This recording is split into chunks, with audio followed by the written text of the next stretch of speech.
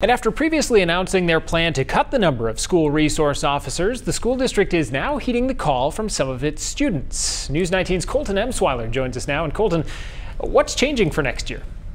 They're not really changing anything at all, Dustin. The district is keeping three SROs in place rather than dropping that number to two.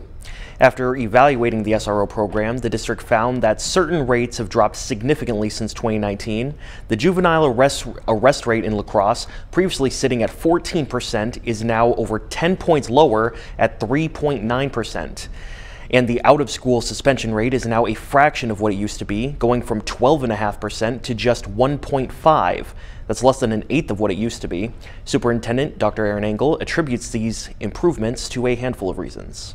When we call uh, police for incidents at school, uh, our administrators and our teachers are doing their best to view typical student behavior as typical and to not criminalize things that uh, might normally happen at a school. And then the other is uh, the La Crosse Police Department's work uh, in ensuring that, um, once again, typical student behavior is not criminalized in our community.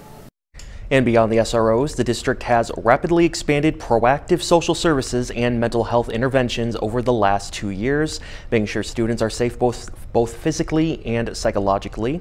Also, Dustin, you may remember that a handful of Central High students petitioned to keep those three SROs in place. You can hear what they had to say coming up tonight at 10. All right, thank you, Colton. And La Crosse Police also sharing a statement with us about their plan uh, saying in part they look forward to the continued partnership with the district, building relationships with students, staff, and families in the community.